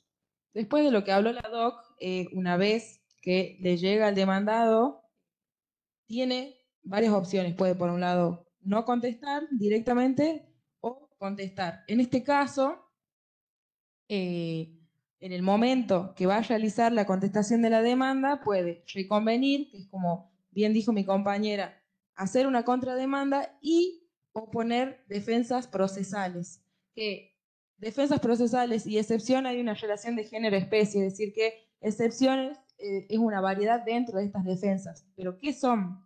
Se tratan eh, justamente de defensas, impedimentos que presenta la parte que ha sido demandada por eh, determinados defectos que pueda contener la demanda. La definición nos dice que son defensas expresamente reconocidas en el Código Procesal que tanto el demandado como el reconveniente pueden hacer valer al momento de contestar la demanda, respectivamente, y que tienden a ordenar el proceso o suspender su trámite para salvar la omisión de algún recaudo. Bien, doctrinariamente se las divide en excepciones dilatorias y perentorias. ¿Qué quiere decir esto? Como bien dice su nombre, dilatorias quiere decir que al momento de plantearlas, el demandado va, lo que va a hacer es dilatar el proceso, va a excluir momentáneamente la pretensión hasta el momento que se resuelva. Y por otro lado tenemos las perentorias, que van a hacer básicamente perecer el proceso, es decir, que una vez comprobadas eh, o, citadas y que efectivamente procedan, quiere decir que van a matar el proceso, básicamente.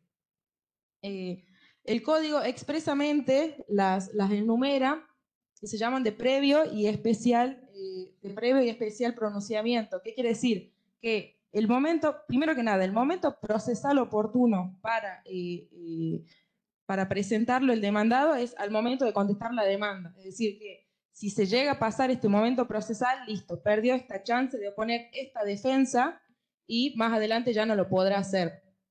Son incompetencia, ¿Qué es la incompetencia? Ya lo venimos hablando hasta el cansancio, es eh, al momento de que le llega esta persona, eh, se da cuenta que el juez eh, del juzgado donde procede no, no, procede porque hay, por ejemplo, un, no sé, un, un, vínculo, porque el juez que está interviniendo tiene algún tipo de ligamen con él, o, o también en esto de lo que hablábamos del centro de vida.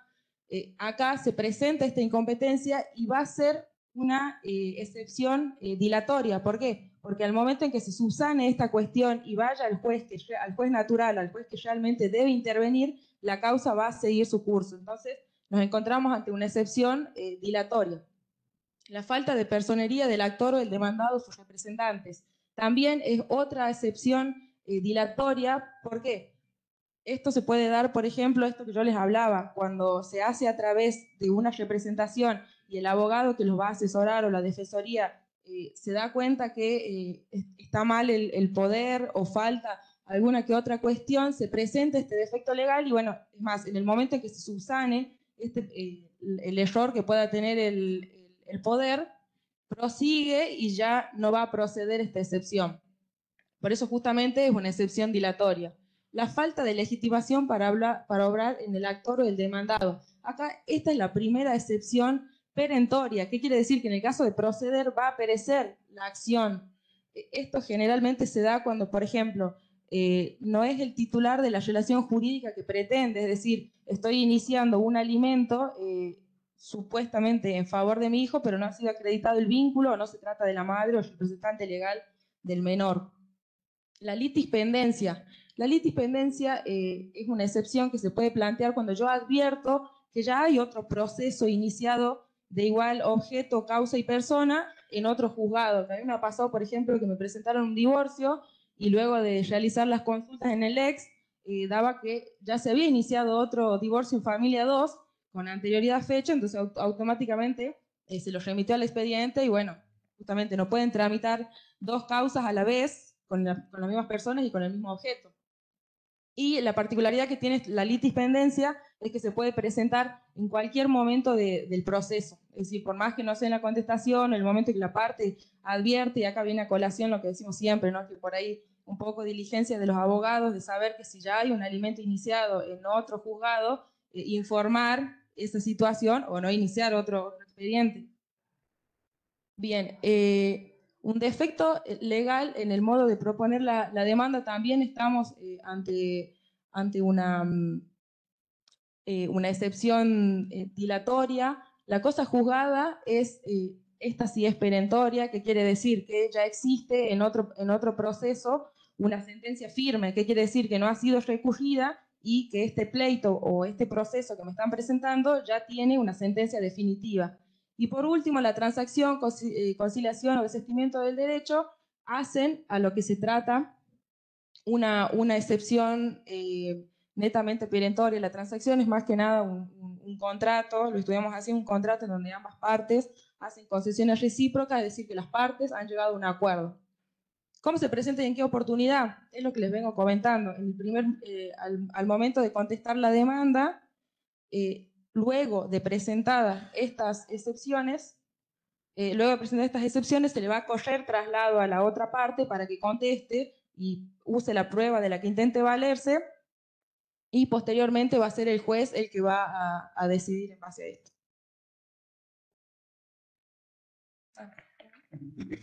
¿Tienen alguna pregunta? ¿No? Bueno. Continuemos. Audiencia preliminar. Nos ubicamos en tiempo y espacio.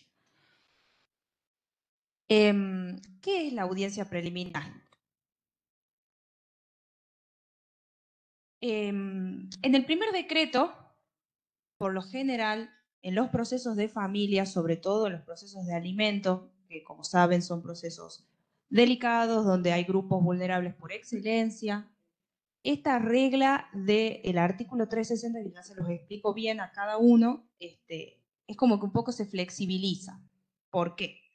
En, en los alimentos tenemos el famoso 639, ¿sí? Ambos artículos, tanto el 360 como el 639 del Código Procesal, tienen la misma finalidad, que las partes lleguen a un acuerdo.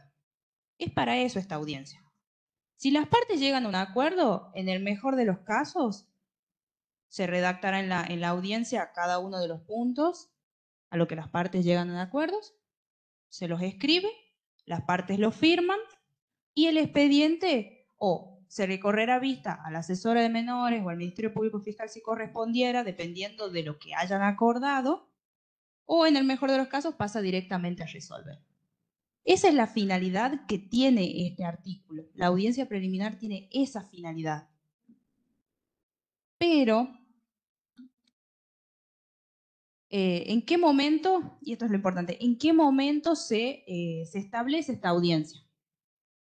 En, en familia lo solemos eh, establecer en el primer decreto, ¿sí? Para los alimentos. No hace falta en los alimentos que esté trabada la litis todavía, como les comentaba la, abogada Patricia. ¿Por qué? Porque son niños que no están eh, comiendo, por así decírselos. No podemos dilatar esa situación. Entonces, al ser grupos vulnerables, al ser una cuestión delicada, tiene que establecerse esta audiencia preliminar en el primer decreto. En el resto de los, sí. No, no, pasa que es por la, la virtualidad. Lo que pasa es que es para la gente del interior, si no, no, no nos escucha. Perdón, eh, esto no es una consulta, sino una circunstancia que yo observé en los primeros decretos de alimento de eh, los juzgados de familia. Sale el entra la demanda, se sortea, cae, va a todas las vistas, sale el primer decreto. El primer decreto fija la, la fecha de la audiencia. Y luego se va a resolver el tema de los alimentos provisorios. Eso de resolver por separado los alimentos provisorios nos hace perder tiempo para citar a las partes, al demandado, Sí, eso iba a decir.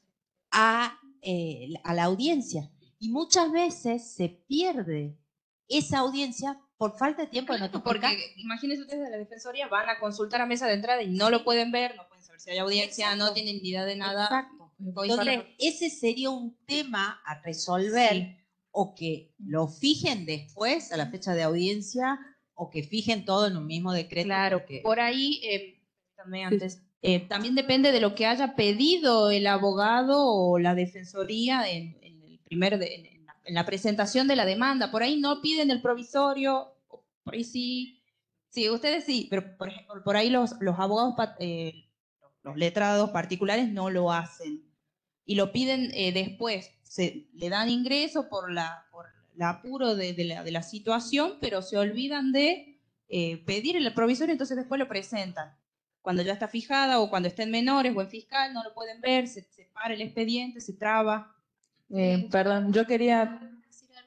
Sí, no, yo quería contestar en base a lo, a lo que dijo nosotros, por, particularmente nosotros en el juego de familia, el número uno, nosotros sale el primer decreto y se proveen la siguiente foja, o sea, no es que hay un resuelvo y se va de nuevo adentro del expediente, o sea, nosotros en, esa misma, en ese mismo decreto fijamos la audiencia, que si bien es un poco separada en tiempo, nosotros tenemos la seguridad que en el primer decreto sale el provisorio, el cual va a durar mientras, mientras dure toda la causa, no es que tiene un plazo, entonces está la seguridad de que el niño se encuentre efectivamente eh, percibiendo el alimento y eventualmente se fija, ya está fijada la fecha de la demanda, que si bien, como digo, puede ser un poco alejada en el tiempo, pero ya se encuentra vigente el provisorio. Y es más, por acordada, nosotros hacemos el primer decreto y tiene la particularidad en el primer decreto que ya se provee la prueba de la parte actora, es decir, que la, la prueba informativa en ese mismo decreto sale, se fija la ambiental en el caso de que se haya ofrecido al ETF, eh, luego se fija este alimento provisorio y por acordada nosotros también hacemos la apertura de la cuenta, que por ahí lo que termina demorando más es eso, pero ya no es una cuestión nuestra, que por ahí los abogados, la defensoría vienen, nos preguntan, los entendemos, pero es en realidad una cuestión del banco, porque es el banco el que tarda en hacer esa apertura de la cuenta.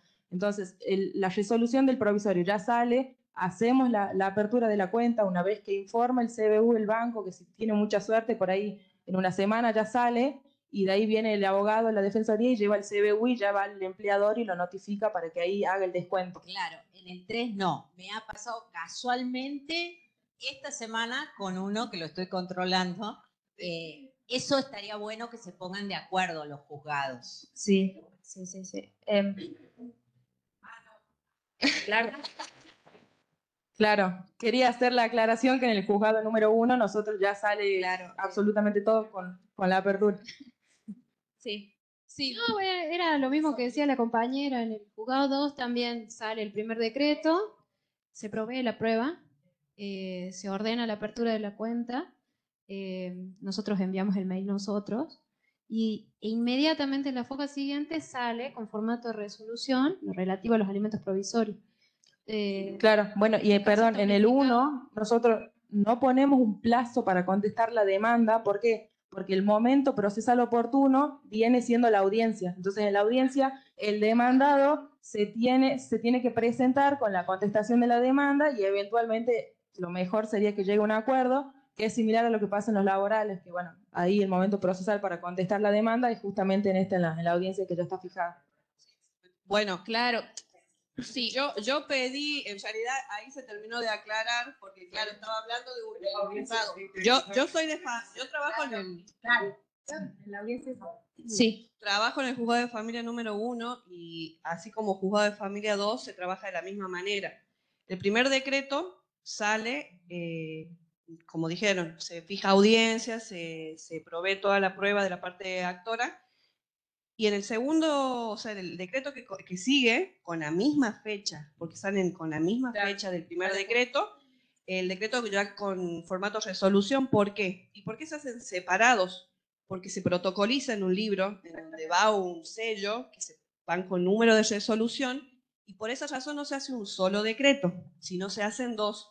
Pero no es que entra de nuevo y, o sea, y lleva un tiempo, salen exactamente con la misma fecha y salen igual que Familia 2, ya con la dirigencia de la apertura, que se hace vía mail, el mismo, eh, la misma persona que lo tiene a cargo al expediente es el encargado de hacerla a la apertura vía mail al banco. O sea, y ya sale con, con todo cuando sale. Exactamente, claro, sale protocolizado e sale incluso protocolizado. en la audiencia, si eventualmente se llega a una conciliación, se le da de baja esa resolución y ya sería la sentencia homologatoria, porque en la misma audiencia, si se llega, el mismo decretante o quien la esté tomando, sale como sentencia homologatoria directamente. Bueno, eh, yo quiero hacer una aclaración, porque ya está todo esto hablado, digamos, sentado, que lo de los alimentos provisorios, el único jugador que nos está haciendo, digamos, familia 3. Lo que yo quería aclarar es con respecto a las audiencias. No es lo mismo la audiencia preliminar y la del 360 con la de alimentos, que es del 438, 39, no me acuerdo cuál de los dos artículos. Claro, entonces tienen diferentes eh, tratamientos, envergaduras y propósito. Ah, Eso nada más que quería Eh. aclarar, porque justo como se dio el ejemplo de alimentos, yo voy a dar eso de alimentos, así que no me spoileen, por favor. Basta hablar de alimentos. Así que... Gracias, Magda, pero justo iba, justo eh, quería aclarar bien, o sea que por ahí hablamos, dijimos audiencia del 360 y empezamos a hablar de alimentos, que es otra audiencia, ¿sí? O sea, el 360 estrictamente, La afiliación, por ejemplo, solamente... el 360, silencio. El 360 estrictamente está en el Código de Procedimiento Civil y Comercial de la provincia. Básicamente, volviendo al 360 específicamente, a ver, ¿se puede celebrar la audiencia del 360 si el juez no está? No. No se puede celebrar.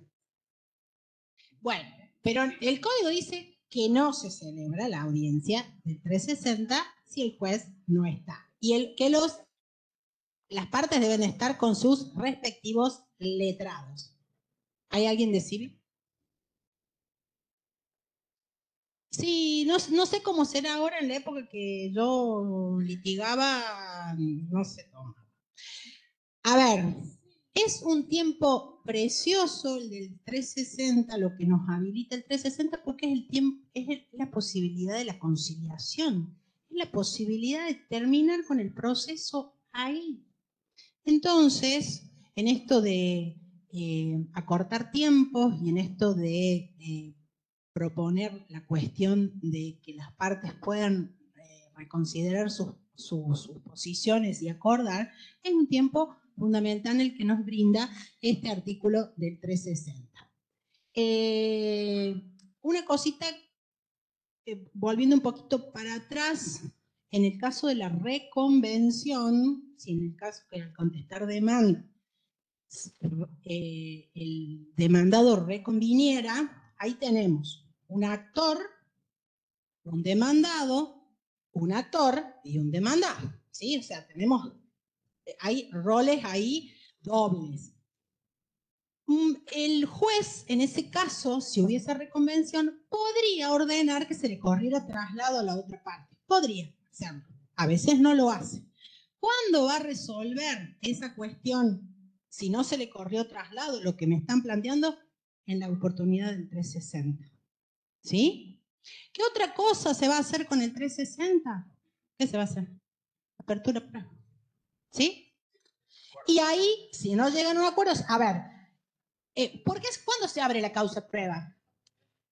Cuando no están de acuerdo en algún punto. O sea, yo pido tal cosa, el otro dice, o sea, yo pido blanco o digo blanco y este dice negro. Entonces juez dice, no, a ver, me está diciendo que blanco y este me está diciendo que negro. Bueno, vamos a resolverlo a través, a ver, tráiganme las pruebas que tienen para justificar lo que me están diciendo.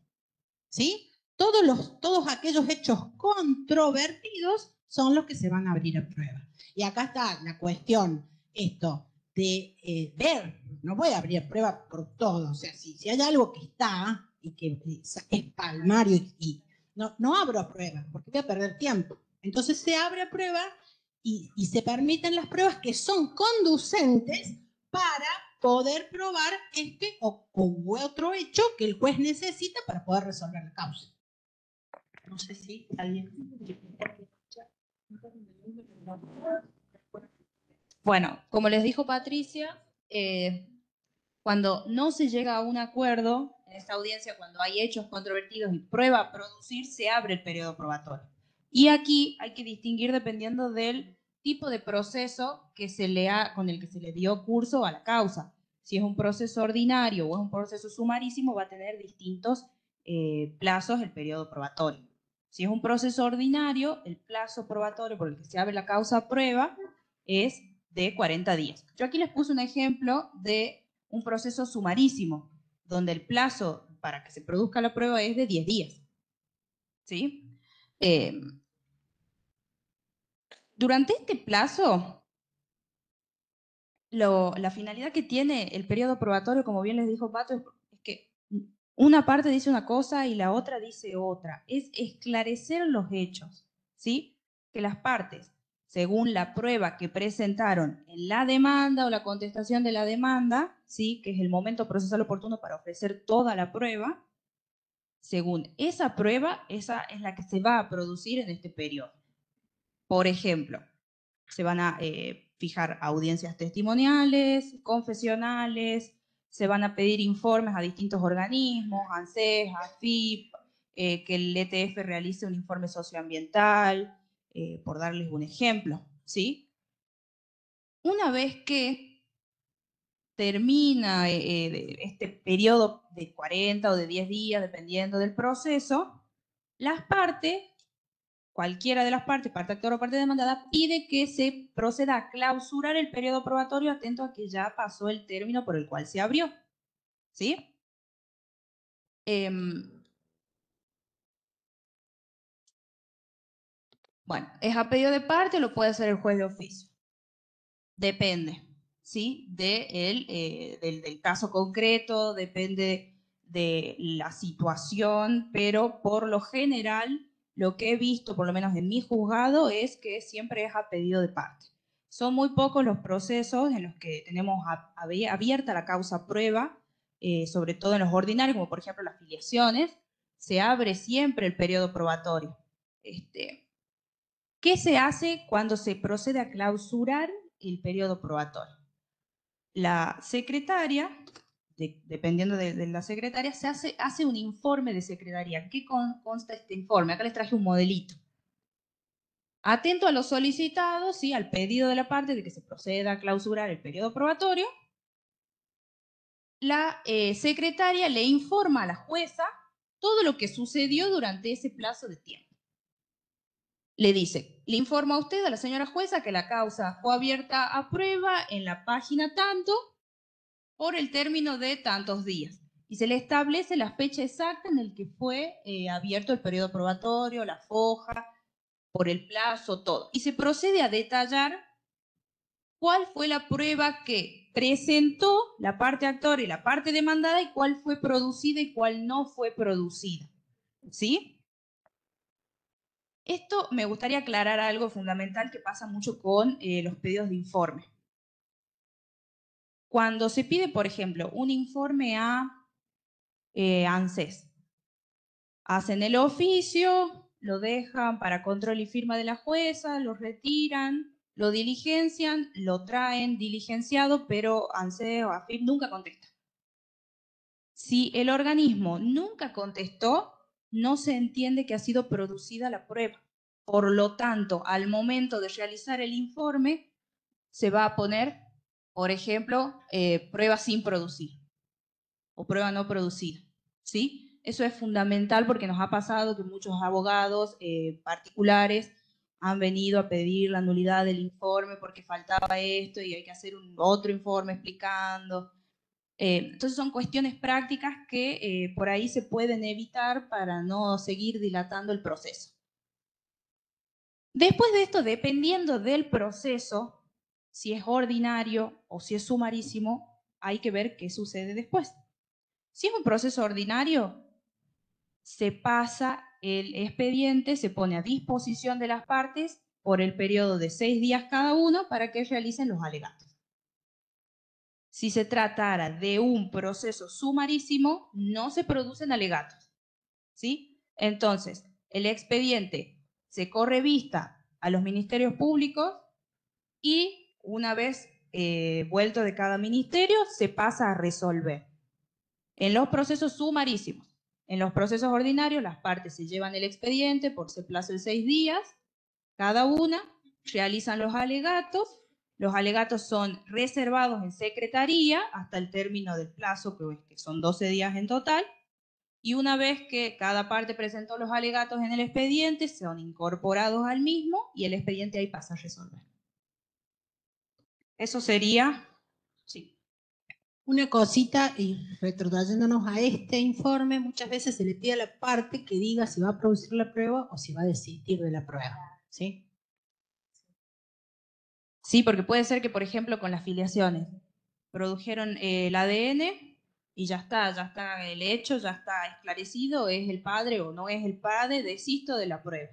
La parte lo pone en un escrito y solicita que se, que se clausure el periodo probatorio, atento que ya no hay hechos controvertidos, que se pase a resolver. Lo pide la parte. Eso también. Eh, y también se aclara en el informe de la Secretaría. Por ejemplo, prueba testimonial a la señora o el señor tanto, desistida en página tanto, por ejemplo. Todo eso se aclara y se detalla bien en el informe.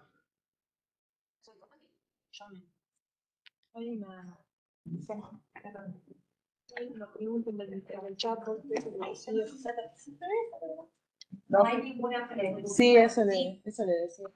Hay una pregunta.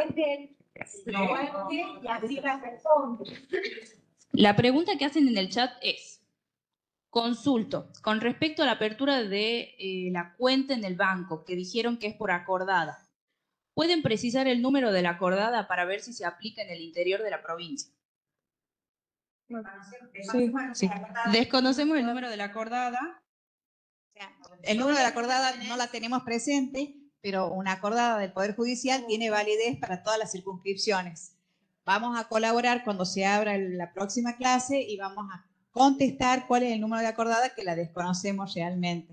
No sé si alguien la tiene o sabe en el página del Poder Judicial y es del año 2020. La estuvimos buscando, pero no la encontramos.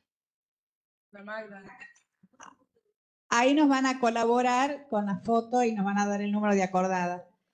Agradecerles que hayan venido, que se hayan quedado después del break, el respeto que nos han dado, no vimos celulares, vimos caras atentas, mates de por medio, este, pero bueno, gracias por venir, gracias por acompañarnos. Eh, 4489 del año 2020 es la acordada de, de apertura de cuentas para las causas de alimentos. En plena, en plena pandemia. ¿Cómo? Se trazaron mucho la, apertura. Porque antes, llevaba, antes llevaba el oficio al banco y el banco te abría la cuenta. Claro. Ahora te lo tenés que llevar, pasarlo a PDF, pasarlo al juzgado, el juzgado lo manda por mail. Y hasta eso nosotros no lo hacemos así. No, no, no, no, estoy hablando de los abogados particulares.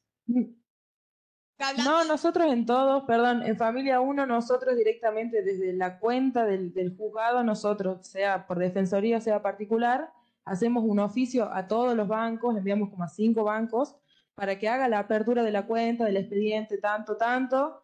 Tenemos un decreto, se lo pasamos y ellos, por eso a lo que venía a colación era que por ahí lo que más tarda es justamente que el banco haga esa apertura y nos conteste el número de CBU. Pero la diligencia la hacemos nosotros. O sea, en el primer decreto directamente sale y le mandamos ese mismo día, en ese mismo momento. ¿El oficio lo hacen ustedes?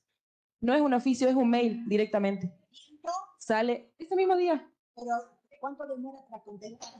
Claro que es muy relativo. por ahí de un día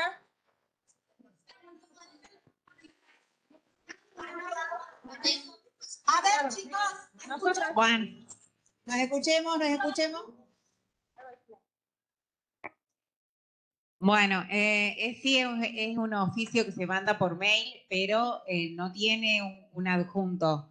El juez, o sea, la secretaria en realidad, es como, lo firma la secretaria y dice, eh, estimado banco, tal cosa, que se cree la cuenta a nombre del, eh, expediente y del juzgado. Pero lo hacemos nosotros y eso ahorra muchísimo trabajo, le aviso para los otros juzgados, porque al no tener la parte que confeccionar el oficio, evitas controlarlo. En cambio, nosotros ya lo tenemos cargado en el LEX, lo copiamos, lo pegamos, ya nos sale con las variables, el número de expediente, sin margen de error. Nuestros primeros decretos salen muy rápido con apertura a cuenta, con resolución. Exactamente, con y por ahí se lo imprime, se lo imprime y se lo adjunta al expediente, pero se lo envía. Claro, algo más. Hacemos las consultas de saldo. Nue- Nuestro juzgado hace la consulta de saldos, entonces cuando va la parte sin presentar escrito, bueno, no hay alimentos, así que lo puede decir. La parte, la parte, la parte actora, los alimentos. Silencio. La parte actora en los alimentos eh, va y hace la consulta de saldo. eh, por ejemplo, el abogado cuando fue y nosotros decimos sí hay saldo.